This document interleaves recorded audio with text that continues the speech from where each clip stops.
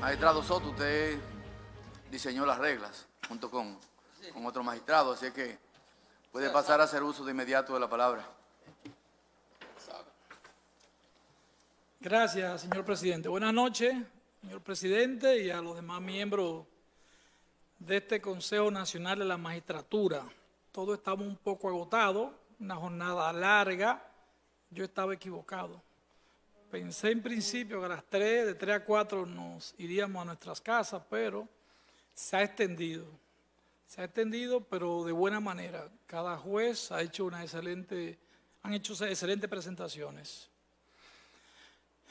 Bueno, eh, comparé con ustedes. Soy Fran Soto, lo digo para las personas que nos siguen a través de los medios.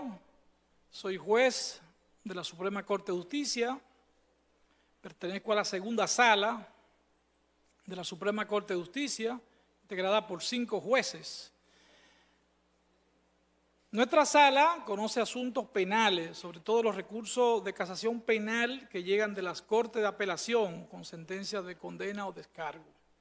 También conocemos los asuntos de jurisdicción privilegiada o jurisdicción especial, las apelaciones que llegan de los jueces de jurisdicción especial y las apelaciones que llegan de las Cortes de Apelación cuando conocen asuntos de jurisdicción especial a gobernadores, alcaldes, eh, fiscales titulares y adjuntos. Esa es nuestra sala. También conocemos los asuntos de las extradiciones pasivas, que son las solicitudes de extradición que hacen los países de ciudadanos de esos países que se encuentran en nuestro país y que tienen asunto pendiente con la justicia de los que solicitan la extradición. Eh, un tema de mucho trabajo para nosotros y que ha generado mucha controversia en algún momento, pero gracias a Dios, ese es un tema del pasado. Nuestra sala en ese punto de las extradiciones se ha manejado de manera transparente al día de hoy y que no tenemos queja de ningún país, de ninguna embajada con respecto a sus casos. Mi presentación la voy a dividir en varias partes. Voy a hablar de algunas cosas que tal vez nadie ha hablado aquí, pero que para mí son importantes, porque tienen que ver con la ética, con lo moral, y yo tengo que tratar esas cosas. Hablaré primero de mi previo a mi designación, de dónde vengo, qué hacía. Trabajé en el Ministerio Público por casi 12 años. Primero fiscal adjunto, y posteriormente duré tres años en la Fiscalía, casi 12 años en la Procuraduría General de la República. Desde el año 2004 hasta el año 2012, principio, cuando nos designan aquí en la Suprema Corte de Justicia. En mi paso por el Ministerio Público, manejé muchas situaciones delicadas. En el año 2004, cuando se nos designa, a mí me ponen a dirigir un departamento de la Dirección de Investigaciones Criminales que tenía que ver con investigaciones de crimen organizado, pero también trata y tráfico humano. Allí manejé los casos más difíciles. Tal vez ningún fiscal manejó casos tan difíciles como yo en el tiempo que me correspondió trabajar. Para recordar algunos casos, caso Paya, por ejemplo, de un asesinato múltiple que se dio en Baní, de militares envueltos en asuntos criminales por droga. Coordiné ese caso donde logramos sentencia condenatoria. Cuando salí de la, de la Procuraduría ya teníamos sentencia por lo menos de primer grado. Caso Figueroa Agosto, conjuntamente con la Fiscalía del Distrito Nacional, caso emblemático que ocupó la atención del país por lo menos por dos años, donde una red criminal se insertó en, en la sociedad dominicana y operaba libremente aquí. Caso de unos regidores también que eh, utilizaban los pasaportes oficiales para traficar con personas al extranjero. Muchos regidores, un caso que según un estudio que hizo, creo que fue la Finjus para ese entonces, fue el, caso que más titular de periódico generó en ese periodo, un periodo de un año.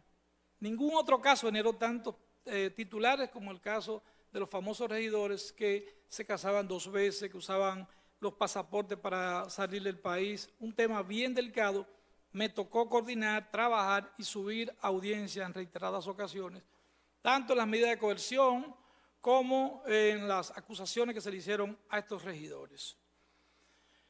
Trabajé también en caso de un periodista que fue asesinado en el este, Solamente estoy mencionando algunos casos emblemáticos para saber, para explicarle a ustedes de dónde vengo. Periodista apellido Silvestre lo asesina en el este una banda criminal por unas denuncias que este había hecho. No correspondió investigar ese caso, un caso que yo diría que nos llevó a arriesgar nuestras vidas porque había un ciclón en esos días y el procurador nos llama con la noticia de que tenemos que asumir el caso y lo asumimos conjuntamente con dos generales de la policía que coordinamos y felizmente arrestamos a todos los que estaban envueltos en ese proceso y se logró condena contra ellos, condena de 20 años y 30 años. También eh, investigamos casos de tráfico humano, en el caso de unos nacionales haitianos que murieron en un contenedor por la línea noroeste. 22 haitianos murieron asfixiados. Eso fue como el 2005, 2006, un caso horrendo, donde eh, se puso en tela de juicio nuestra seguridad fronteriza, donde estos nacionales eh, cruzaron todos los puntos de chequeo y control militar y se asfixiaron porque el traficante que conducía y dirigía la operación, por más que ellos tocaban, eh, que estaban asfixiándose, no le abrió nunca y lamentablemente murieron. Recuerdo para esa época tuve que durar dos días en la frontera trabajando y coordinando el tema porque hasta el sepelio de ellos fue un drama para nosotros, ya que desgraciadamente tuvimos que usar una fosa común para el sepelio porque las autoridades haitianas de entonces no quisieron recibir los cadáveres de sus nacionales. Muchos casos de trata y tráfico humano, además de eso, trabajé para mi época en la Procuraduría. Cuando me presento a la candidatura para ser juez de la Suprema Corte de Justicia en 2011, ya yo era un fiscal de carrera. Eh, había superado todas las pruebas que, daba la Escuela Nacional del Ministerio Público.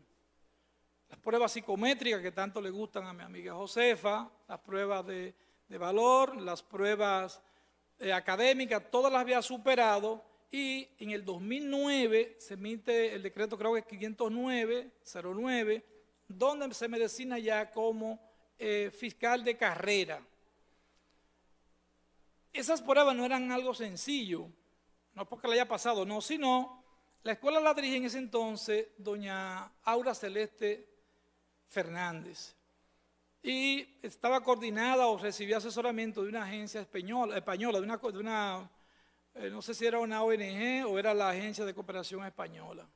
Tanto es así que nosotros, lamentablemente, no superaron la prueba cerca de un 20% de los fiscales que tuvieron que ser desvinculados. Les digo esto para que ustedes vean la seriedad del proceso que se llevó a cabo en la Procuraduría General de la República para esa época para integrar los fiscales a la carrera.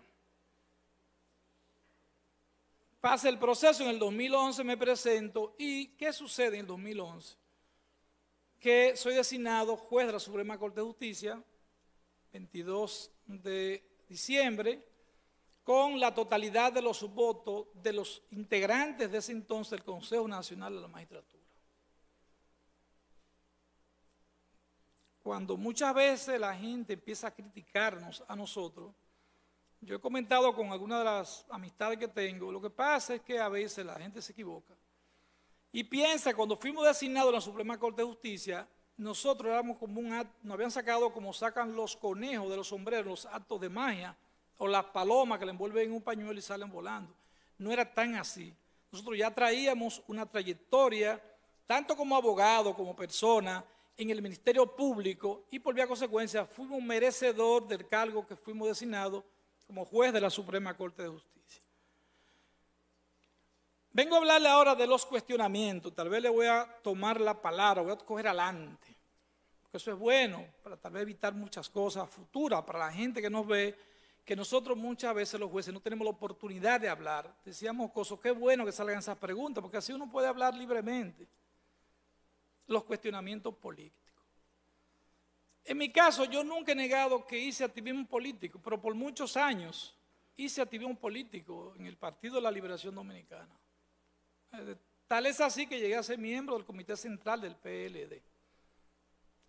Pero, como le decía anteriormente, cuando me designa fiscal de carrera en el año 2009, envío una comunicación a la Secretaría General del PLD. Recuerdo como ahora que esa comunicación, cuando me evaluaron aquí, en el 2011, la traje en mi chaqueta, una carta, en este mismo sobre, aquí está la carta.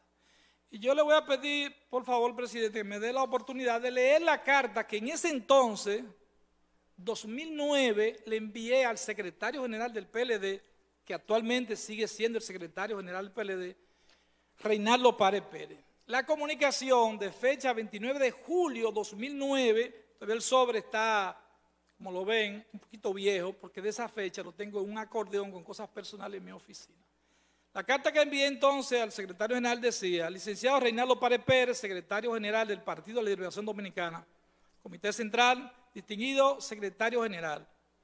Cortésmente, por medio de la presente, tengo a bien dirigirme a usted a los fines de solicitar el formal retiro del padrón del Partido de la Liberación Dominicana, en virtud de que fui incorporado a la carrera del Ministerio Público mediante decreto número 509-09 de fecha 21 de julio del año 2009, en razón a lo establecido en el artículo 94, numeral 8 de la ley número 7803 estatuto del Ministerio Público, lo que constituye una falta grave realizar actividades políticas partidarias, las cuales son incompatibles con, con la función de Ministerio Público. Sin otro particular, atentamente, Fran Euclides Soto. Aquí está el sello del Partido de Liberación Dominicana. Me recibieron esta comunicación el mismo día 29 de julio del año 2009. He tenido que leer esta carta en dos ocasiones. En una ocasión que me recusaron en la Procuraduría, allí en la Suprema, por un caso que llevaba en el 2011, y la estoy leyendo ahora por tercera vez. Porque por más que uno se lo diga a la gente, a uno el sello se le queda de que es político, y porque es político no puede participar como juez, que la Constitución no lo prohíbe, eso se ha debatido varias veces aquí. Lo que prohíbe es que esté siendo juez haga activismo partidista, partidista pero si, si no estoy haciendo, puede haber sido eh, ayer militante político. Puede haber sido ayer, pero hoy ya no lo soy y no lo estoy haciendo. Entonces, por eso, eh, quiero que sepan eso, que a partir del, del 2009 yo asumí otro rol en la sociedad. Asumí otro rol de fiscal de carrera para ese entonces y posteriormente de juez. Y como juez, realmente, el papel de juez es un papel difícil, muy difícil. Tomar decisiones no es sencillo. Ya lo decía el magistrado Hirohito hace un momento. No es sencillo. No sé si ustedes han visto cómo se encabezan las sentencias de los tribunales del país. Se, se encabeza nada más y nada menos con el lema nacional. Artículo 34 de la Constitución de la República. Dios, patria y libertad. Es el lema nacional. Es como, como nuestro grito de inspiración. El que grita el soldado si va a la guerra, el dominicano si va Dios, patria y libertad. Con eso encabezamos nosotros la sentencia. Y eso es serio, señores. Pero el artículo 30, que establece los símbolos nacionales, ¿cuáles son los símbolos nacionales? El escudo, la, la bandera, el escudo, el himno nacional. Artículo 30 de la Constitución de la República. Nuestra sentencia la encabeza el escudo nacional. Y se dicta en el nombre de la República. Eso yo lo respeto. Lo respeto y lo voy a respetar siempre mientras esté en estas funciones. Lo que pasa es que siempre hay que buscar algo para denigrar al que está en funciones públicas, el que no le gusta la decisión que uno adopte. Entonces, eso yo lo respeto. Nadie puede decir en la Procuraduría cuando estuve allí o en la Suprema Corte de Justicia que mi oficina es una, eh, una oficina de comité político o de, un comité de base. Que yo llevé allí la política a, mi oficina. Ellos me relajan a veces porque, contrario a lo que la gente puede pensar, yo soy de los que menos personas recibo. Yo recibo poca gente. Y cuando estaba en la Procuraduría, porque siempre me pasar esas cosas. Cuando me llamaba alguien, una vez me llamó un amigo de la zona oriental, Fran, hay una persona detenida porque le dio un trompón a su pareja. Y yo le decía, ¿y qué podemos hacer? No, que si puedo dormir en la casa, pero yo le dije en la casa. ¿Y tú crees que es correcto eso? Porque él va a dormir en su casa y tú en tu casa y yo en la mía. Y si esta noche él mata a esa mujer, ¿qué tú crees que va a pasar? Déjalo dormir ahí en la cárcel. Y mañana lo lleven ante un juez. Porque hay que tener la respuesta correcta a la gente en el momento que la persona te piden lo que te vayan a pedir. Porque siempre habrá gente que estará propuesta como esa, porque indecorosa nunca nadie me ha hecho una propuesta. Por la consecuencia, yo vengo y traigo ese tema adelante. Sí he hecho activismo político. Lo hice hasta que me hicieron Ministerio Público, 2004 y posteriormente. Ese decreto del año 2004, cuando nosotros nos designan procuradores general adjunto, decía sencillamente que eso fue una resistencia que tuvo todo el sistema, que estábamos siendo designados provisionalmente hasta tanto superáramos las pruebas. Las pruebas que tenía que dar la Escuela Nacional del Ministerio Público. Que la dieron y gracias a Dios pasamos, pero como le decía, no fue tan sencillo. Nosotros, lamentablemente, casi un 20% de los fiscales no, como se decía en ese entonces, el término era, no reunieron, no tenían el perfil. Y mucho hubo que separarlo, algunos se nombraron en cargo administrativo. Yo le quiero ahora tocar a usted un caso igual, cosas emblemáticas. Los casos emblemáticos de la Suprema Corte de Justicia. Miren, el sistema de administración de justicia en el país, contrario a lo que la gente piensa, yo creo que los últimos siete años ha sido exitoso. Ha sido exitoso. Si ustedes revisan las sentencias que se han dado en el país, veces la gente está insatisfecha, pero la gente a veces no es tan fácil complacerlo en todo, porque decía, creo que Cruzeta, hay un 50% de usted va a dejar insatisfecho siempre. Siempre hay un 50% insatisfecho. Pero si usted analiza, por ejemplo, las medidas de coerción, para más decir una cosa que habló el magistrado Hirohito Reyes hace un momento. Señores, en delitos de sangre, narcotráfico y delitos crimen organizado, sobre el 95% de la gente se va preso.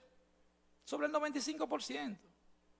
Y en sentido general, la prisión preventiva en todo el, sistema de justicia sobrepasa el 70% de todos los casos.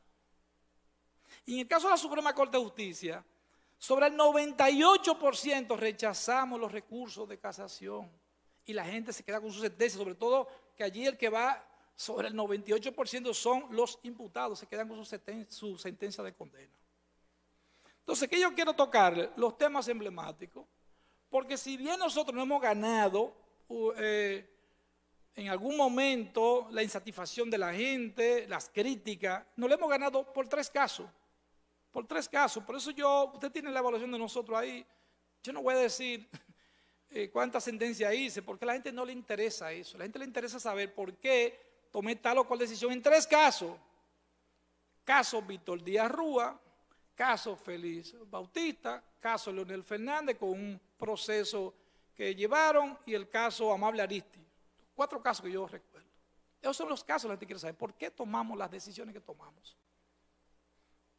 Y, yo, y así como Mocoso explicó, por suerte, bien, muy con buen, con buen detalle, el caso de Félix Bautista, resulta que ese caso yo tuve participación.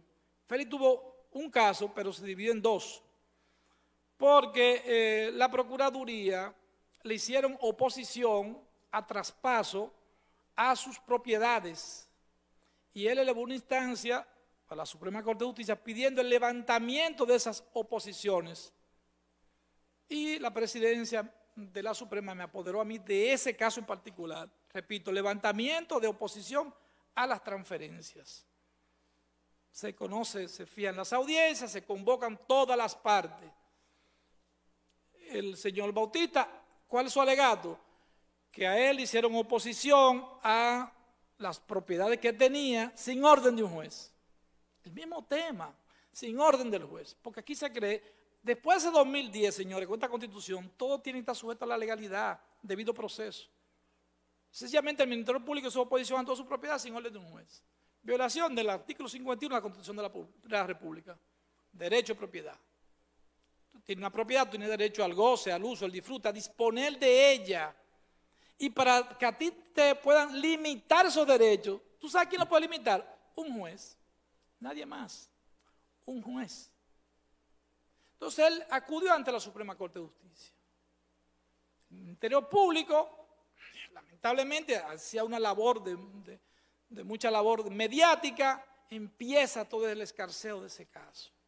Me recusan titulares diarios en los periódicos sobre el caso.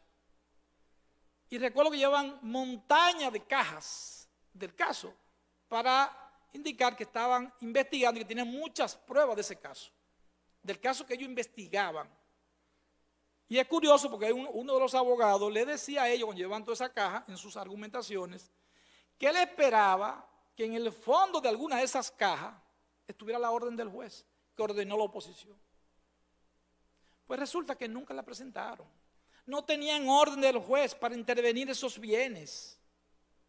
Y el Ministerio Público sabe perfectamente que no puede hacer eso, solamente puede hacer intervenciones cuando es flagrante delito o a raíz de una investigación que, llega, si hace un allanamiento, puede hacer cerrar un local, pero en, estos, en esos casos no, no es flagrante delito, no puede hacer eso. Para hacerlo tiene que ir ante un juez.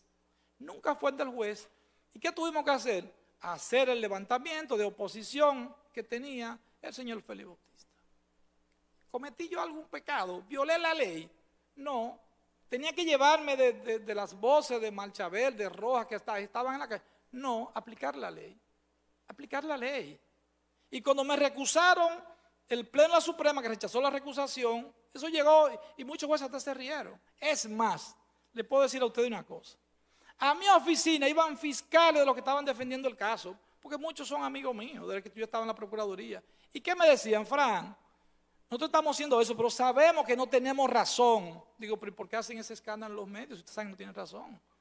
Sencillamente retiren esa instancia y traten de regularizar su asunto. No, siguieron. Entonces, por eso tomamos esa decisión.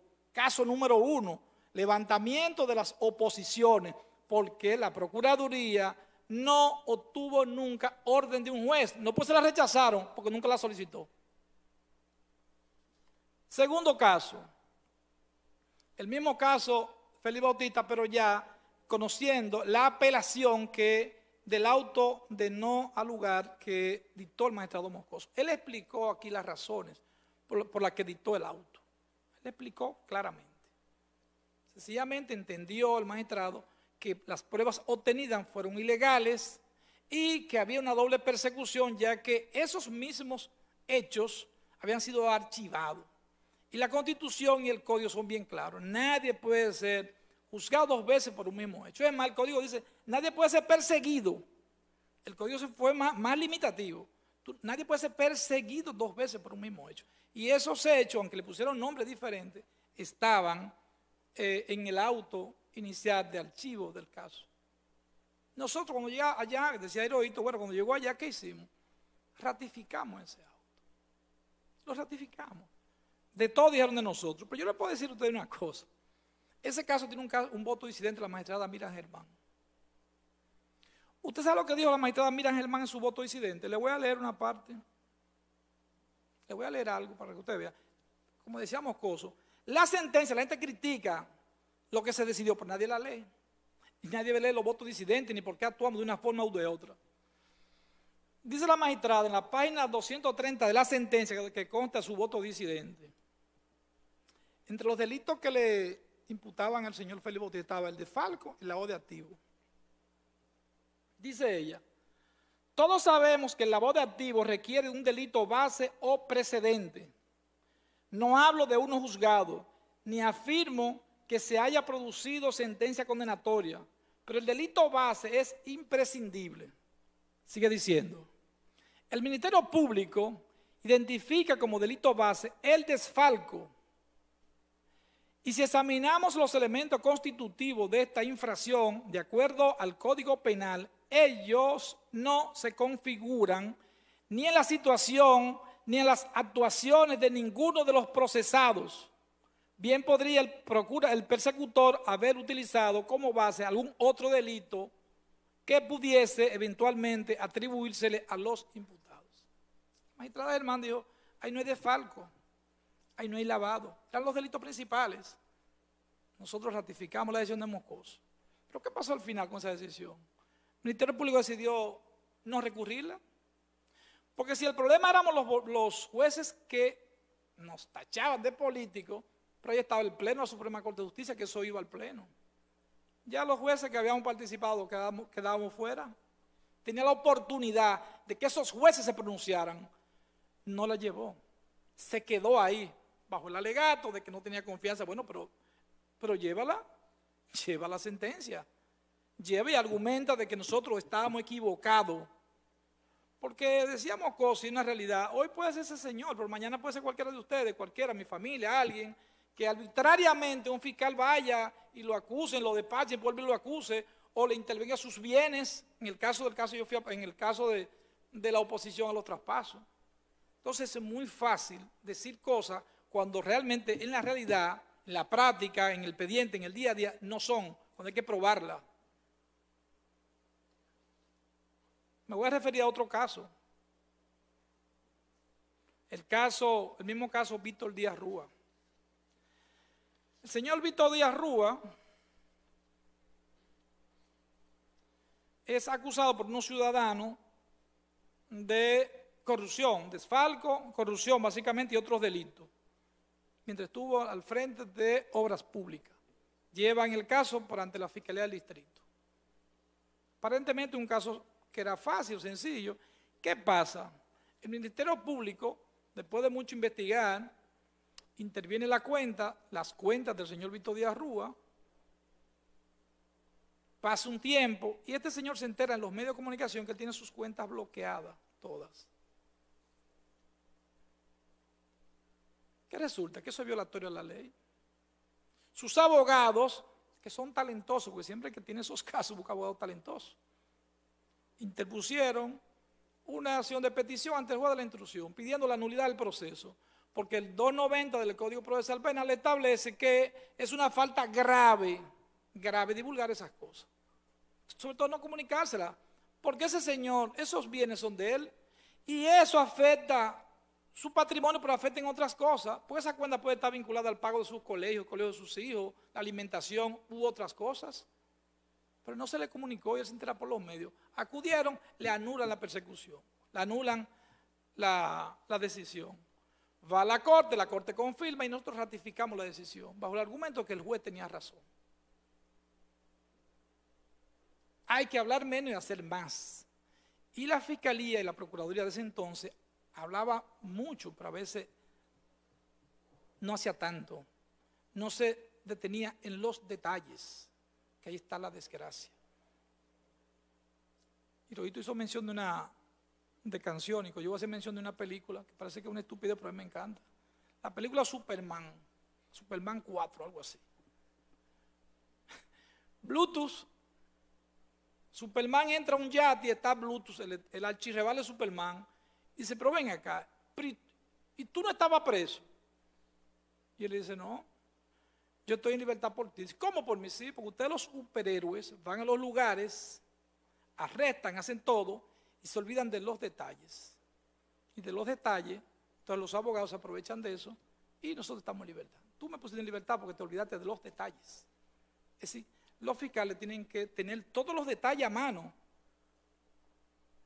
Porque son procesos que no son, no son procesos sencillos, no es el día a día y van a estar atentos. Me voy a referir a otro caso, el caso Leonel Fernández. Un grupo de ciudadanos, se tres, no sé, le ponen una querella, porque los fondos, que sé que no justificó los fondos. Esa querella, este caso es diferente. La, fiscalía investiga la querella y decide archivar el caso. Ese archivo lo llevan ante un juez, lo llevan los querellantes ante un juez. Recuerden, la fiscalía archivó lo llevan ante un juez y ese juez ¿qué hace? Ratifica el archivo, bajo el alegato de que no están eh, tipificados los delitos que establecían los querellantes. Van a la Corte de Apelación, ¿y qué alegan ellos los querellantes de la Corte de Apelación? El Ministerio Público mantiene su archivo en la Corte y ellos alegan en la Corte que lo conocieron dos jueces, entre ellos un juez que era esposo de una, una juez que es esposa de uno que es fiscal, una, una longaniza larga y lo recusan. La Corte le rechaza la recusación y confirman el archivo. Llega allá y nosotros vemos que lo que hizo la Corte, como lo hizo primer grado, estaba correcto. Pero yo le voy a decir algo a ustedes. Esa decisión en la actualidad, si fuera hoy, ni siquiera va a la Suprema. Después de la modificación que se le hizo a la ley 1015, el artículo 283 final dice que los archivos ratificados, un doble archivo, no es susceptible de ningún recurso. Ese caso en el día de hoy no hubiese ido ni siquiera a la Suprema. Se queda a nivel de corte y punto. Un último caso, le voy a tocar el caso Amable Aristi. Este es rápido porque se lo conoció Hirohito. Ese es más sencillo todavía. El caso Amable Aristi eh, se creían contra Amable por algunos, lo que alegan que unos casos en la Junta, en la, cuando él estaba en la Liga, y apoderan Hirohito del caso. Hirohito da un auto en un lugar. Las razones no las sé, porque no, no vi ese caso. Da un auto en un lugar ¿Y qué hace el Ministerio Público, señores? Eso está clarísimo. Tú lo lees en el código, no sufrió modificación en la 1015, igualito. ¿Qué hizo el Ministerio Público? Ese caso debe recurrirse ante la sala penal. La recurrió ante el Pleno de la Suprema Corte de Justicia. ¿Fue un error? Yo no sé. ¿Y qué tenía que hacer el Pleno? Declaró inadmisible el recurso. Fuera constitucional también se lo declaró inadmisible porque un error así es hasta sospechoso. Entonces, de estos tres casos, le pregunto a usted, ¿cuál fue el pecado de nosotros? Uno que hicieron mal, otro que recurrió mal, uno que tenía, que hicieron oposición y no tenía orden de un juez. Nosotros no vamos a llevar porque Malchabel le diga o porque alguien diga, no, hay que actuar acorde con la ley y la constitución porque eso fue lo que juramos nosotros. Terminando los casos emblemáticos, vamos ahora a tratar con ustedes mi labor en la Suprema Corte de Justicia. Mi labor en la Suprema Corte de Justicia, los resumen, como les decía anteriormente, están ahí. Eh, mi sala básicamente está al día en todos los procesos. En principio tuvimos algunos problemas de mora que se corrigieron el año pasado porque a raíz de la famosa ley 1015 se nos acumuló mucho trabajo, pero todo el mundo se puso al día. Cosas importantes de la sala, y ahorita mencioné algunas, pero yo tengo algunas cosas que nosotros, que yo creo que son importantes, y bueno que hasta que el país lo sepa, porque a veces cosas sencillas, que el día a día la gente no se da cuenta, cosas importantes que hemos cambiado como precedente en la sala, y señalaré luego mis votos disidentes. Un precedente importante, materia de, de tránsito, violación de tránsito. Anteriormente, para un conductor o el dueño de un vehículo demostrar que el vehículo, ya, no era de él, tenía que llevar la matrícula transferida o el acto de venta registrado. De lo contrario, esas personas eran perseguidos como responsables civilmente por el daño del vehículo. 1382, el daño de la cosa. Le hicieron 1383, le dice, el daño de ese vehículo era responsabilidad del propietario y era sentencia constante de la Suprema Corte de Justicia que para usted demostrar que ese vehículo no es suyo, tenía que presentar la matrícula que está a nombre de quien usted se lo vendió o el contrato de compraventa registrado. Que nosotros establecimos. Vimos que había mucha, mucho abuso con eso. Cada rato aparecía gente condenada, que ese carro no es mío, lo vendí hace tal tiempo, yo puedo demostrarlo, pero era, una sentencia permanente, un presente permanente. ¿Qué hicimos nosotros? a raíz de un caso que llegó allá, que un señor demostró que él había vendido el vehículo. ¿Y cómo lo demostró? Con un cheque que le pagaron. Llevó el cheque, presentó el cheque, y vio nosotros que realmente el cheque se correspondía, tenía el concepto de la venta del vehículo, y el, señor se había desprendido del vehículo, se había entregado a quien se lo había vendido. Establecimos que por el principio de libertad probatoria, para usted probar que sencillamente ya usted, usted usa cualquier medio, llámese un cheque, llámese una transferencia electrónica, siempre que sea confiable que usted presente, tengo el cheque o tengo la transferencia, que ese vehículo ya no es mío, no está en mi posesión. Cuando chocó ese ciudadano, no, yo no soy responsable ya como tercero de los daños que en ese vehículo. Es una decisión importante que, varió, que ha variado el precedente del tema de la propiedad. Otro precedente que nosotros establecimos la sala, yo digo nosotros porque es conjunto, es el tema del principio de justicia rogada, que Hiro explicó algo ahorita, y es que anteriormente la Suprema había tenido un precedente, el 2005, 2006 por ahí, que los jueces podían eh, establecer sanciones más allá de lo que le pedía el Ministerio Público y el actor civil. Rompía totalmente el principio de justicia rogada, el juez no puede irse más allá de lo que le piden las partes. Nosotros variamos ese precedente y establecimos que el juez está sujeto a ese precedente, que solamente puede salirse de ahí cuando la petición que le hacen está fuera del marco legal. Eso contribuye a que el Ministerio Público, por ejemplo, pueda hacer más acuerdo con los imputados, que le puede garantizar a los imputados que la pena que vaya a pedir el juez no se puede salir de ahí. Eso es clave para el tema de las investigaciones criminales. Nosotros establecimos ese precedente. Otro precedente que establecimos, que tal vez ni siquiera aparece en los boletines, porque fue en una orden de arresto que lo establecimos, porque entendíamos que estaba cometiendo un abuso. En el año, cuando nosotros llegamos, lo que se hacía en la Suprema Corte de Justicia con las extradiciones era, nosotros emitimos una orden de arresto, arrestan al ciudadano que lo van a extraditar, y con esa orden de arresto se quedaba preso hasta dos años o hasta un año que se conociera el fondo de su extradición. Nosotros variamos esa costumbre, porque era un precedente, pero no era, estaba en sentencia, siempre era en resoluciones. Variamos el precedente y establecimos no.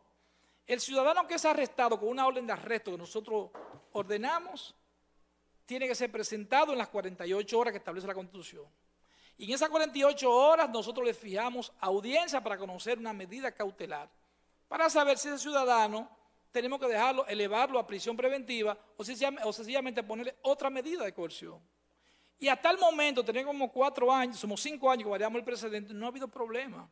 Le hemos puesto eh, grilletes a las personas electrónicos, le hemos puesto prisión domiciliaria, domiciliaria a las personas, y para mí una gran satisfacción, porque una ocasión, un señor acusado de homicidio, eh, le habían dado un tiro en el operativo y, andaba en de ruedas, en muleta, no podía moverse. Imagínense ustedes si, era anteriormente. Así tenía que ir a una cárcel. Ese señor que hicimos lo mandamos a su casa con prisión preventiva. ¿Y qué pasó todo el proceso? Y se presentó y al final se olvidó la tradición, lo buscaron de su casa y se lo llevaron. Esos casos que son casos que a mí me han marcado, porque yo, coño, eso pasaba antes en este país, que con una orden de arresto dejaban antes un año, año y medio. Nosotros variamos esos criterios. Otra cosa que hemos nosotros establecido y va en beneficio del Ministerio Público son los temas de las actas. Creo que alguno de los magistrados habló de las actas de arresto y de las actas que llenan los agentes actuantes en materia de droga, donde eh, muchos tribunales establecían, y así lo había, dicho, lo había dicho, lo había la en ocasiones anteriores, que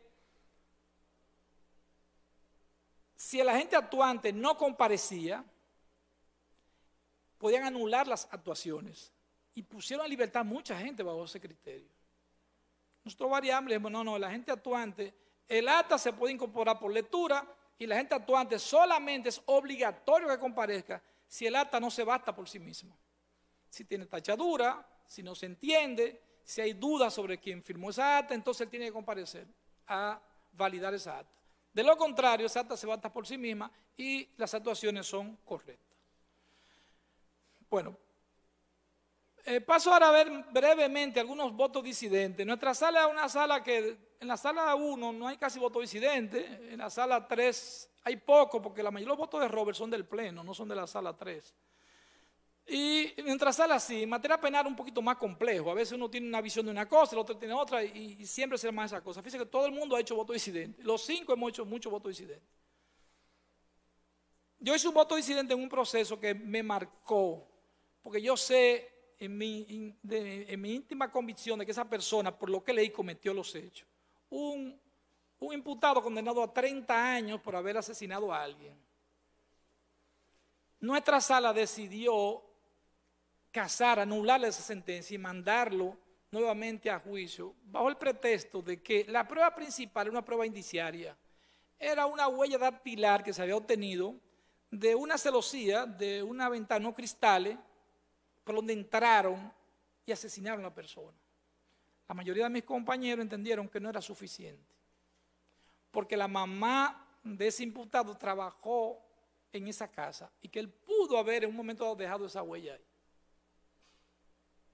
y sencillamente lo mandaron. Con la decisión que se adoptó, obviamente la Corte no le dado seguimiento, lo iba a poner en libertad. Porque si la Corte, la Suprema dice que no es suficiente, lo iban a poner en libertad. Ahora bien, es cierto, la mamá trabajaba en esa casa, pero tenía 13 meses que había dejado el trabajo. No había forma de que esa huella de tila estuviera en esa celosía, precisamente donde entraron y mataron a esa persona. Ahí hicimos voto disidente en contra de los mis compañeros por un asunto de, eh, de prueba suficiente. En tradición hemos hecho voto disidente con el tema de las medidas de coerción, por el tema de respetar el precedente, casos iguales se deben fallar igual. Un caso de droga, que nosotros siempre hemos dicho, caso de droga importante, delito de sangre o persona condenada en, en materia de tradición, mi posición siempre es que se queda con prisión preventiva. Un caso donde era un delito de droga de una cantidad importante, la mayoría de mis padres decidieron que se iba con brazalete y una garantía económica. Ahí hicimos voto disidente. Y Loito hizo un voto disidente conjuntamente conmigo, le hizo señalamiento, pero le voy a dar los detalles porque pertenece a la zona de, de, de, paliza. Y es bueno que ya Alan tome nota de esto, porque esto a mí realmente me mortificó, porque lo hicieron dos veces los fiscales. No sé si por desconocimiento o por complicidad. Dos veces sobre el mismo punto. Tú no estabas en la Procuraduría todavía. Pero eh, una juez en Puerto Plata decide por un solo auto, archivar aproximadamente 90 procesos que estaban, extinguir, perdón, extinguir 90 procesos que estaban en su tribunal. Porque había pasado el plazo de presentar acusación o tiempo suficiente en el tiempo. Es decir, hay dos formas de extinguir, o porque no presentan acusación en el tiempo apropiado o por el tiempo máximo de duración del proceso. Extingue 90 como si fuera una ley de amnistía, proceso. La fiscal recurre a la decisión, como decía el magistrado Hirohito. Pero ¿dónde recurrió la decisión la magistrada? La recurrió ante la Suprema Corte de Justicia. Tenía que recurrirla, había pasado ya la, la, la 10-15, ante la Corte de Apelación. La mayoría de los jueces, de mis pares, decidieron que admitieron el recurso e enviaron el proceso por un asunto de, derecho a acceso a la justicia, no sé qué cosa, pero por el principio de legalidad, de legalidad, yo hice conjuntamente con él un voto disidente en ese proceso. Lo trágico del caso es que esa misma juez y esa misma fiscal emitió otro auto posterior, extinguiendo como 100 casos más. Y la fiscal hizo exactamente lo mismo. Recurrió ante la Suprema Corte de Justicia, cuando debía hacerlo ante la Corte de Apelación. Ahí hicimos voto disidente con mis compañeros.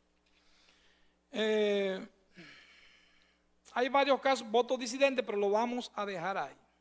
Lo vamos a dejar ahí. Yo quiero hablarle ahora de, de algo que mis compañeros no se refirieron, pero el reglamento habla algo de eso, del asunto ético-moral. Y yo quiero referirme a eso porque aquí salen cuestionamientos para todo el mundo. Aquí la gente no tiene respeto a nada ni a nadie.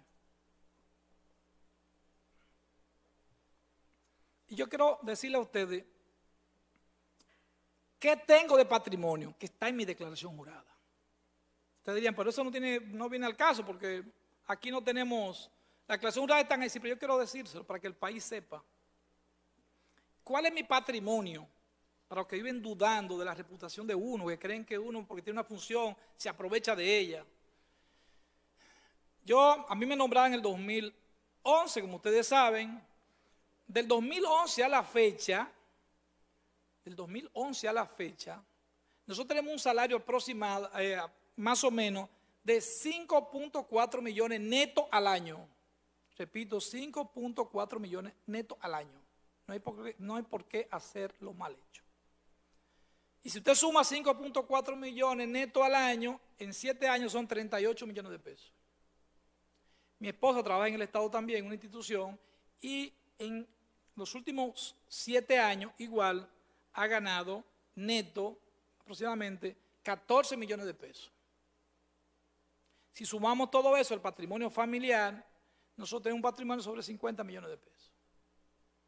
De ese dinero nosotros tenemos actualmente activo que tenemos un apartamento en la avenida Enriquillo, que lo compramos en el 2015, y una casa en Jarabacoa, que la compramos en el 2012, de 4.5 millones de pesos. El apartamento 15.5 millones y la casa 4.5. Y una deuda en el banco de reservas, cuando compramos el apartamento porque no nos alcanzó el dinero, de 6.6 millones de pesos. Ustedes dirán, pero bueno, fue en el 2015 y, no se habían cumplido los siete años. Sí, es verdad. Pero cuando yo llegué a la Suprema, no llegué con los bolsillos vacíos. Yo tenía una casa en la zona oriental, que era donde yo vivía, que vivía ahí por muchos años, la compré en el año 2002. Y tenía un apartamento en la Enriquillo, que era donde yo vivía en ese momento, que, me fue asignado por el presidente Leonel Fernández en el año 2012, entrando aquí prácticamente. Es decir, que tenían dos inmuebles, mi casa y un apartamento. Lo vendí los dos. El apartamento 7.8 millones, la casa 4.1 millones. De todo tengo cheque. Me pagaron con cheque. Yo no, yo no cojo efectivo, cheque. Y la casa igual me pagaron con cheque. Más el préstamo. Y eso es lo que tenemos. No tengo más bienes. Bueno, tengo tres solares que me lo gané en el año 97. Que si ustedes me dicen eh, dónde están, yo no sé. Porque cuando yo me nombraba en la fiscalía, tuve que hacerlo a una, abogada y yo no sé llegar. He ido dos veces y ya que me lleva. Que no vale nada por las Américas por ahí, qué sé yo. Eso no vale mucho, pero están ahí en mi declaración jurada. Entonces, ese es mi patrimonio. En los siete años de la Suprema, la ley establece, la 327, que nosotros nos corresponden dos exoneraciones. Una a los dos años y otra cinco años después. Yo no he utilizado ninguna de mis exoneraciones, pero tampoco la he vendido. No tengo vehículo. Yo tengo un vehículo de la Suprema Corte de Justicia. Mi esposa tampoco tiene vehículo, tiene un vehículo de su trabajo asignado. No tenemos ahorro importante. Ella tiene que tener un clavito por ahí, algunos 10 mil dólares que vendió su vehículo, cuando vendió su vehículo. Yo no tengo ahorro. Ese es todo mi patrimonio. Y no fui a enriquecerme ni al Ministerio Público ni a la Suprema Corte de Justicia. Para los que tengan alguna duda de que creen que uno está vendiendo, traficando con influencia, con relaciones y con todo. Entonces, pasado ese punto, vengo ya brevemente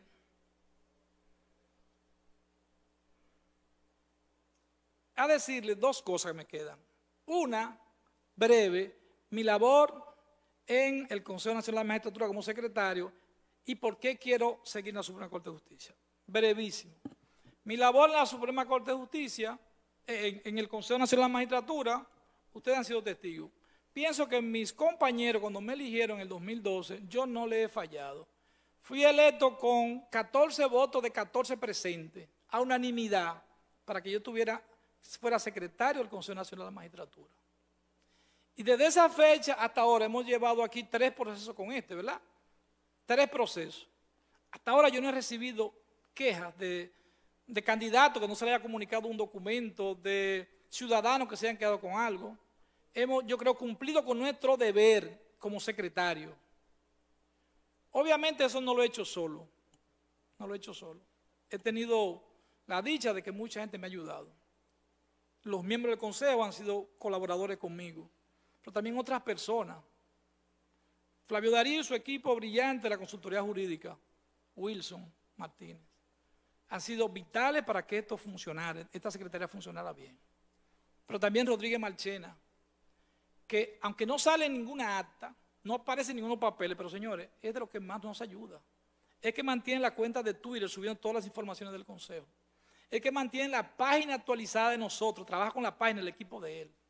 Es quien nos ayuda a confeccionar los certificados que le entregamos a los jueces.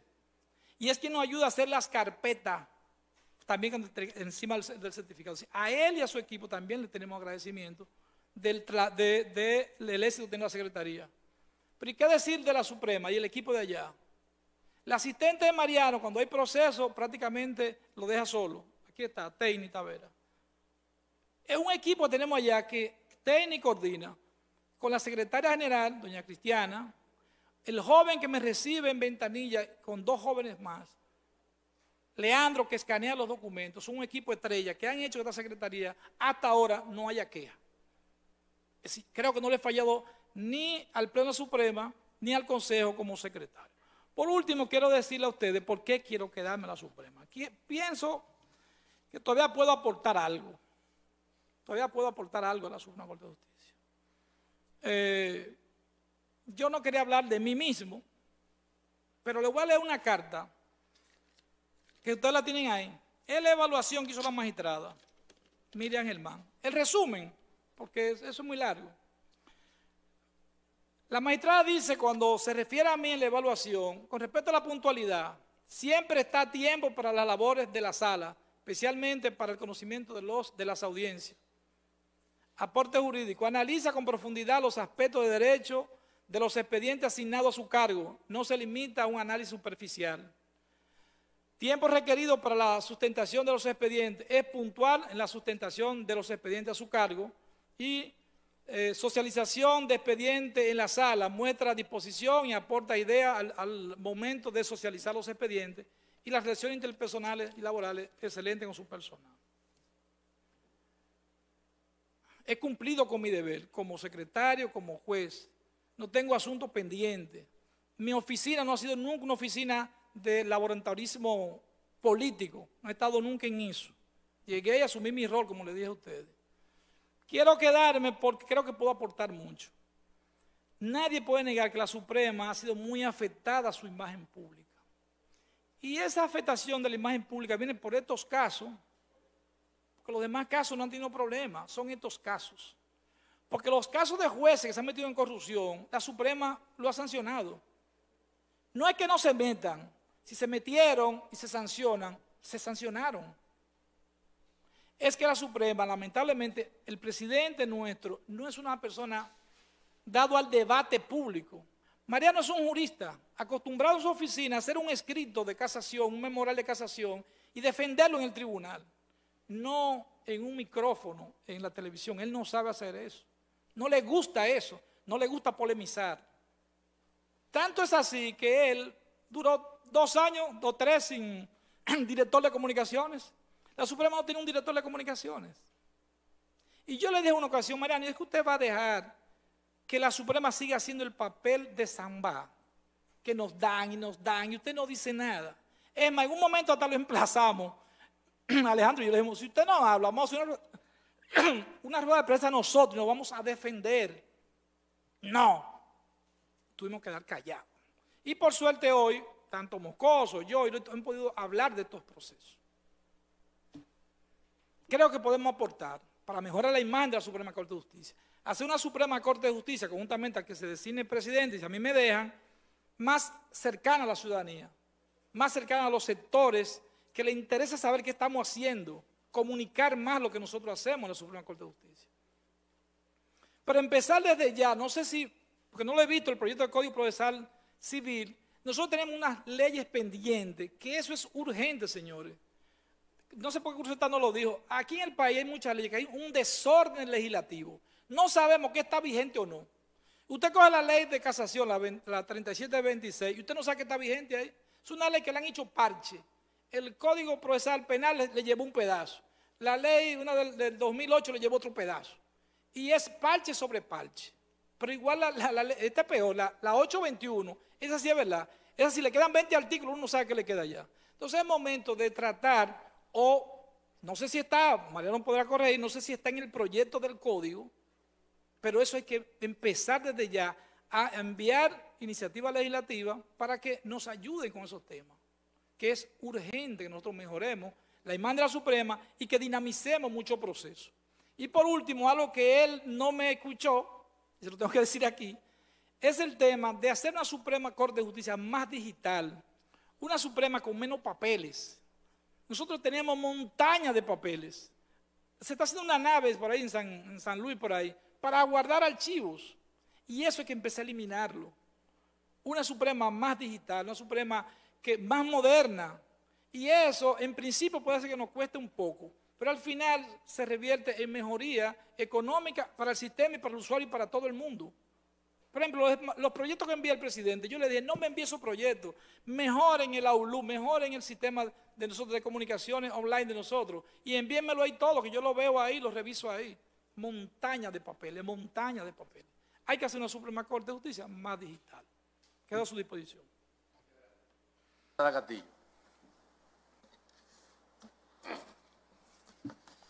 Bueno, yo iba a hacer una pregunta, pero ha sido tan productivo que voy a hacer tres. Claro. Bueno, eh, veo que eh, dijiste, dijo usted, señor magistrado Frank Soto, eso fue por la confianza durante todo este proceso, perdón. Puedes seguir diciéndome Sí. así, no, hay problema, no hay problema. Durante todo este proceso eh, eh, de tu intervención has hablado acerca de los casos en que al olvidarse los detalles se invalidan entonces las pruebas y que obviamente salen resultados que no son los más esperados probablemente para el tema de la víctima. Una pregunta. ¿No se ha encontrado usted en su experiencia que en algunos casos esas invalidaciones son a propósito para producir entonces que se caigan los casos y esto como una, un recurso caccioso y una inducción, diríamos que eh, de malicia, maliciosa, pudiera entonces eh, dejar a alguna persona sin la aplicación de justicia adecuada? No me atrevo a hacer esa afirmación. Pienso que de todo un poco, pero creo que la prisa y el interés de hacer las cosas públicas ha dañado muchos procesos aquí. La prisa es mala consejera en estos procesos criminales. En una ocasión, vi que ya Alan hizo unos, unos allanamientos por ahí, por, por Villajuana. En una ocasión, hace, yo estaba en la Procuraduría, 2007, 2008, fue un coronel a decirme, Fran, necesito hacer un, operativo para piezas de vehículos en la calle 20, la Marco Ruiz. Digo yo, ¿qué tú tienes como prueba? Me presenta que un señor, un repuesto de eso tiene piezas robadas. Digo, mira, yo no trabajo así. Si tú quieres podemos hacer algo. Vamos a hacer una vigilancia de dos meses, vamos a hacer, vamos a mandar a comprar piezas, vamos a hacer fotos, vamos a hacer videos, vamos a desmantelar las redes. Digo, eso lo sabe todo el mundo. Tú te paras en la calle 20 y ellos te dicen, ¿qué pieza tú quieres? Y sale el muchacho a buscar la pieza en el lugar donde la tiene escondida. Digo, vamos a hacer eso. ¿Usted sabe por qué no se hizo? Porque le dije, necesito gente de confianza. El coronel me dijo, yo no tengo gente de confianza para hacer los operativos. Tiene que ser rápido. Yo quiero, yo quiero, todo no se puede. Bueno, A veces es el tema de, de la rapidez, que eso daña los procesos. Eh, se quieren ganar los procesos muchas veces en los medios de comunicación y eso no puede ser así. Los procesos se ganan en los tribunales. Pero yo no me atrevo a decir que con la intención deliberada de que los casos se caigan. No, no me atrevo a decir eso.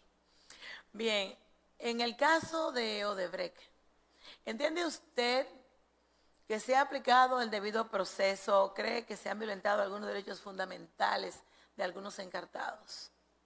Como usted sabe, ese caso está actualmente conociéndose en la, en la jurisdicción privilegiada, lo tiene un juez de la instrucción. Yo no puedo referirme porque eso es indelicado, porque eso va a llegar lo más probable donde nosotros. Y Yo no puedo adelantar mi opinión sobre ese proceso. Ok, perfecto.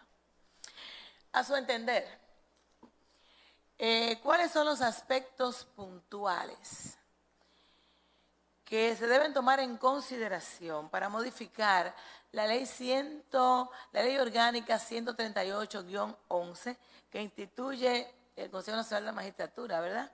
Para hacer más efectiva su aplicación por parte del Consejo Nacional de la Magistratura, a sabiendas de que hay algunas lagunas, algunos controles difusos que nosotros hemos visto a lo largo del proceso y como usted es tan productivo, nos gustaría que eh, pudiera abundar sobre ese tema.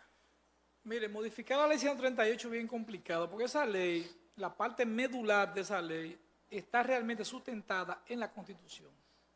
Fíjese, cuando habla de evaluación, casi copia el 181 de la Constitución. Y fuera de ahí, poca cosa que se puede hacer. Pero nosotros en el reglamento realmente hemos avanzado mucho. Mucho, porque en el 2011 no se hizo nada. Ya fíjese que todos los jueces tienen más o menos, traían su guía de lo que nosotros queremos. Y en el futuro, con las evaluaciones que ellos tienen que presentar cada año y sobre esos aspectos que están ahí, ya nosotros podemos ir avanzando. Porque meternos a, modificar esa ley, ¿en qué aspecto podemos modificarla? Para hacer evaluaciones más rígidas, para hacer evaluación en cuanto a contenido de sentencia, eso es muy complicado. Evaluar jueces es complicado, aún modifiquemos la ley. Yo creo que con el reglamento podemos avanzar, que realmente hemos avanzado bastante y creo que vamos a terminar bien este proceso.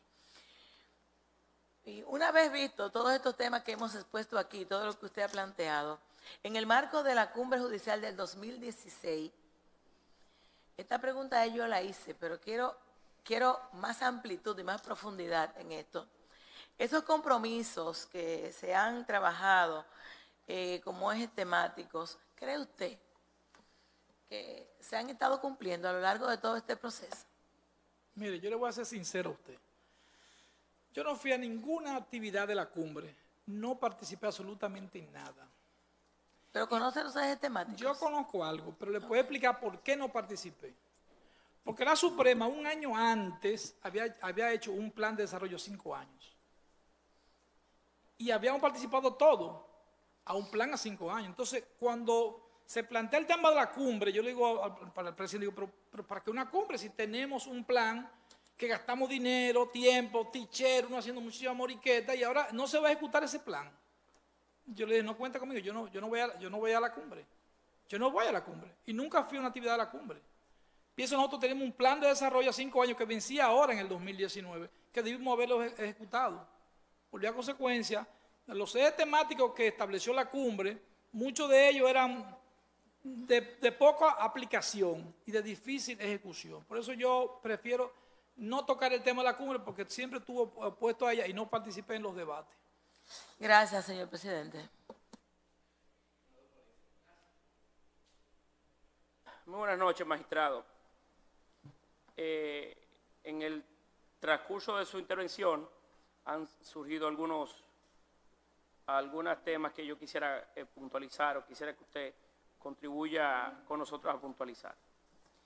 En primer lugar, nosotros en las reuniones del Consejo Nacional de la Magistratura colocamos en diversas oportunidades la, idea de que entendíamos que existía en el Consejo, dada su conformación, eh, un conflicto de interés como consecuencia de la presencia tanto suya como del, presidente de la Suprema Corte. En el caso suyo muy particular, hay, eh, podría eh, abundarse inclusive un poco más, porque sí hay jueces, diferentes al presidente de la Suprema, que no van a, ser evaluados, no, han cumplido los siete años de su elección, han sido electos recientemente, como el caso del magistrado Alexis Reed, Blas Fernández eh, y otro más. Eh, ¿Cree usted, para respuesta al país, porque hasta jueces de corte de carrera hicieron, esa, esa, hicieron algunos juicios al respecto, ¿cree usted que existe algún, algún conflicto de interés como consecuencia de que usted está haciendo las normas y evaluando a sus iguales? No existe ningún conflicto de interés. Mire, en un momento hasta el procurador fue cuestionado de que perteneciera al Consejo Nacional de la Magistratura. Pero la ley no estableció excepción con respecto a nosotros. Y le voy a tocar el tema del procurador porque ahora mismo no hay debate con eso. Pero si un procurador quisiera ser juez, imagínese el conflicto que habría que por qué el procurador, yo le explicaba, yo le comentaba en una reunión anterior, que el procurador tiene una razón de ser de estar aquí. El Poder Ejecutivo nada más tiene un representante en el Consejo. Pero además de eso, el constituyente del año 94 siempre pensó en el procurador. El procurador sustituía al presidente de la República en el Consejo Nacional de Magistratura cuando la vicepresidenta tampoco podía estar. A falta del presidente, el vicepresidente. A falta del vicepresidente, ¿sabe quién presidía el Consejo Nacional de Magistratura? El Procurador General de la República. En la Constitución del año 2004, en 94. Entonces, que yo esté aquí, eso no representa ningún conflicto. Porque usted no puede hacer una ley para las excepciones. Las leyes se hacen para la generalidad. Entonces, vamos a ajustar ahora porque hay esta circunstancia de que hay jueces que no se van a evaluar. Y cuando vengan unos jueces que todos se van a evaluar, ¿qué vamos a hacer entonces? No se puede. Ni la ley, ni la constitución, ni la ley, ni el reglamento establecieron excepciones porque yo no pueda participar. Además, el conflicto, no hay tal conflicto porque yo soy un voto en dado caso. Y te estoy a tener ventaja. Porque de todos los jueces evaluados, el único que no va a coger ocho votos, si es ratificado, soy yo. Porque yo no puedo votar por mí mismo. Yo no puedo votar por mí mismo. Ustedes se han fijado que en el día de hoy yo me he mantenido un poco eh, pasivo. Hice una pregunta solamente para que mis compañeros no se sientan que por estar ahí tengo alguna ventaja sobre ellos. No es así. Y ellos tampoco lo sienten así. Tampoco lo sienten. Entonces, repito, yo no creo que haya ninguna incompatibilidad y que tenga un conflicto de intereses el yo estar aquí. No lo estuvo, no pasó en el 2011, donde un juez se evaluó y un juez era secretario. Pero tampoco pasó en el año 97, donde había un juez que era secretario, porque es un mandato constitucional. Entonces nosotros podemos decir la constitución, mira, se equivocaron los constituyentes de esa época, no, no puede ser. Si es la condición que dice, habrá un juez elegido por sus pares, y yo le, le, informaba a usted, a mí me eligieron 12, 14 eh, de 14, a unanimidad. Entonces, ¿qué podemos hacer? Decirle ahora que no, que llegaron cuatro y hay que sustituir por esos cuatro. Ir al pleno, convocar un pleno y someter eso al pleno. Yo no creo que sea lo más correcto. Yo no creo que hay incompatibilidad. Ustedes se reúnen toda la semana. Tampoco es que es difícil la convocatoria. Eh, pero siguiendo esa misma línea de preguntas, porque creo que es un tema importante y en el día de hoy han sucedido eventos que eh, obligan al debate.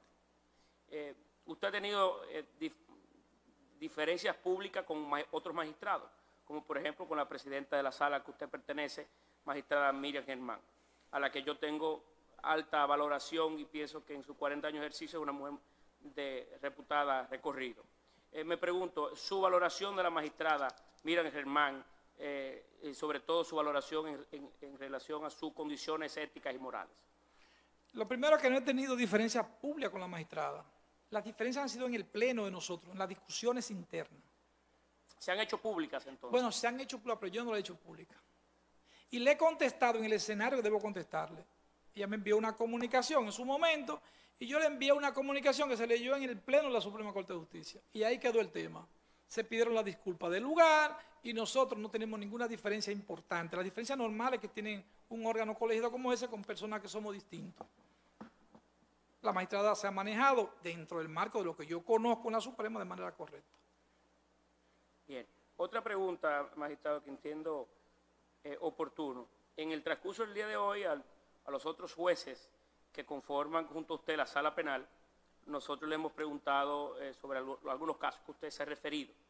Eh, en el caso específico del no lugar del senador de San Juan de la Maguana, usted ha expresado, igual que el magistrado Moscoso y otros, que la razón principal para el cual dictar el no al lugar es que eh, las pruebas habían sido obtenidas al margen de una orden judicial.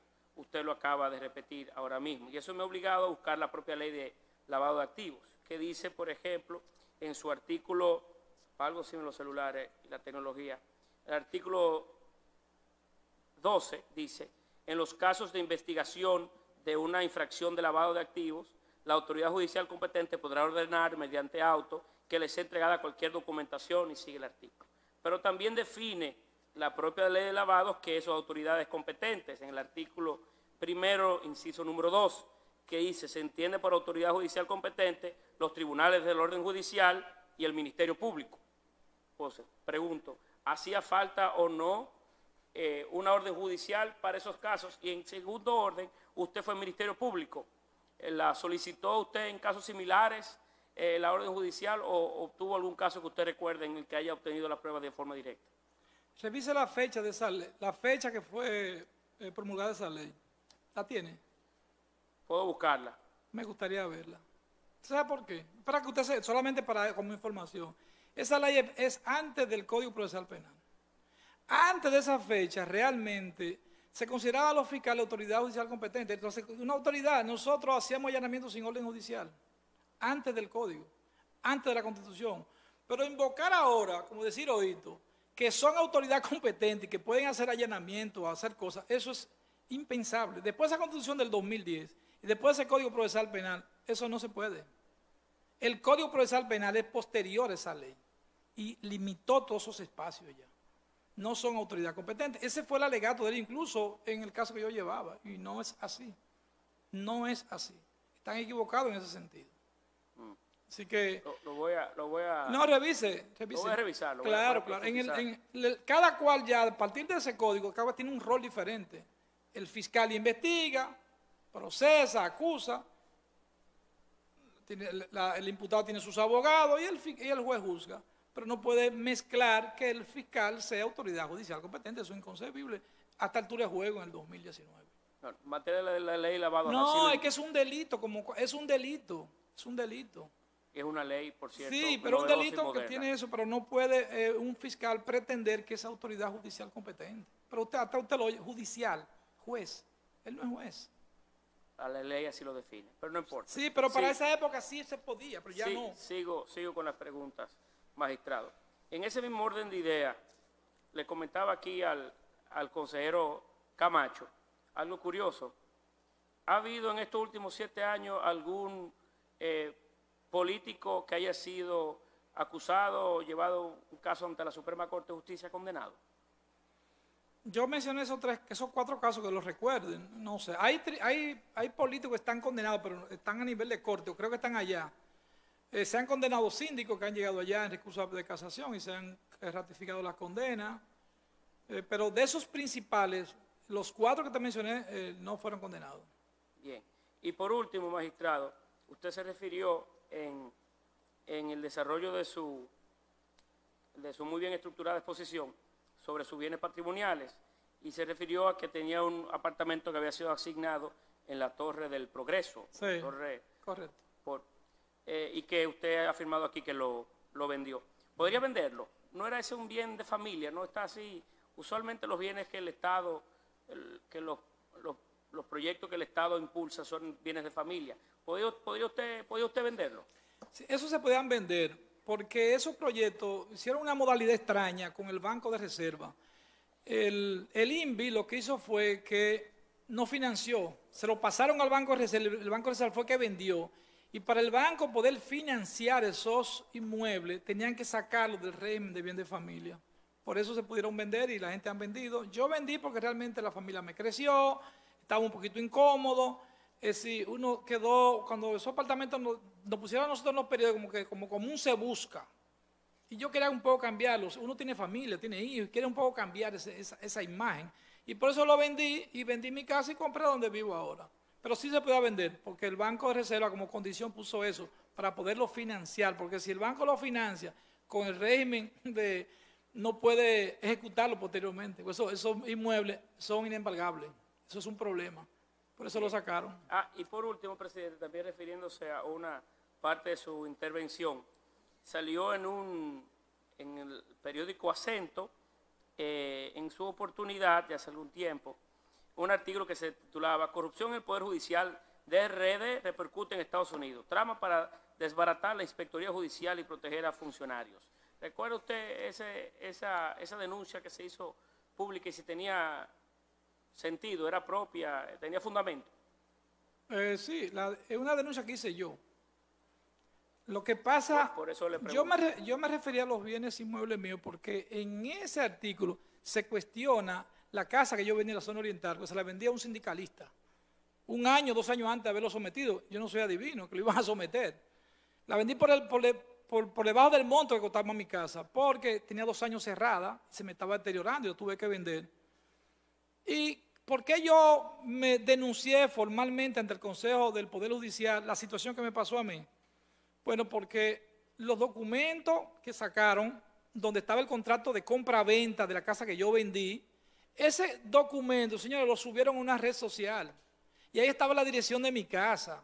Entonces no es justo que la dirección donde usted vive esté rodando en una red social. Yo le decía ahorita, yo, nosotros tuvimos situaciones difíciles cuando estuve en la Procuraduría.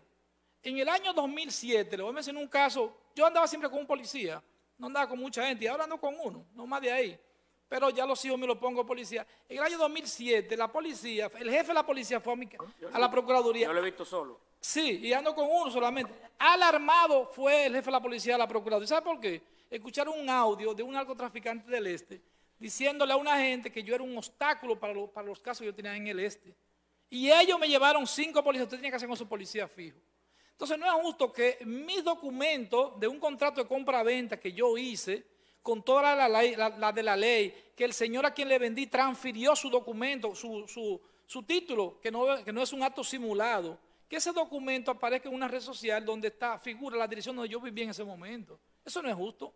Entonces me quejé en el Consejo del Poder Judicial y ellos tomaron su medida. Creo que suspendieron uno o dos de los que consultaron mis expedientes e, e imprimieron los documentos míos y parece que se lo pasaron a tercera persona. Eso fue todo. Entonces a partir de ahí que se han generado todas esas informaciones, pero fui yo que hice realmente la denuncia. Buenas noches, magistrado Frank. De verdad que con la exposición que usted hizo, que nosotros todos esperábamos que iba a ser la más corta, Hasta yo. y con todas las preguntas que hizo Josefa y la que hizo Paliza, que nosotros también pensábamos que iban a ser menos, seis que yo tenía aquí marcadas, se reducen a media pregunta, Qué bueno. porque usted también respondió algunas. Y en lo siguiente, la población dominicana tiene una mala percepción por las moras en el sistema judicial completo Sí. no solo en la Suprema, sino en el sistema judicial completo.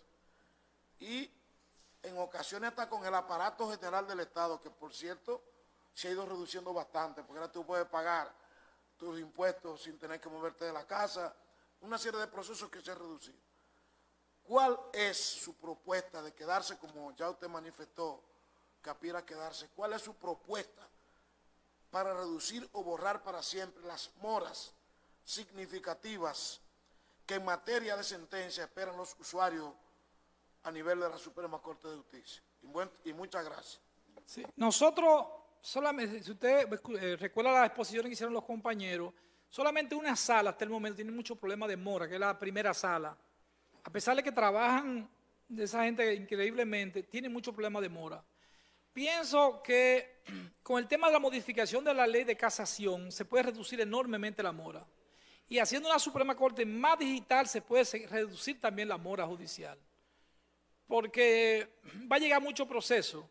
Ese tema del artículo 12 de la ley de casación que estableció que el simple, la simple notificación del recurso suspende la ejecución de la sentencia, eso generó una, increíblemente una cantidad enorme de expedientes que llevan a la Suprema Corte de Justicia.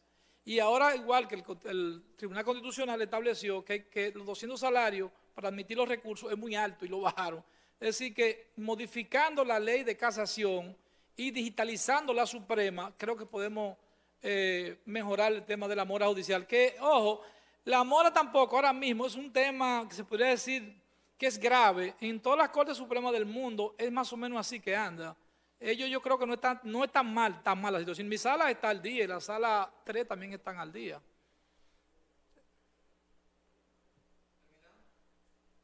Gracias. Gracias, señor presidente y los demás miembros.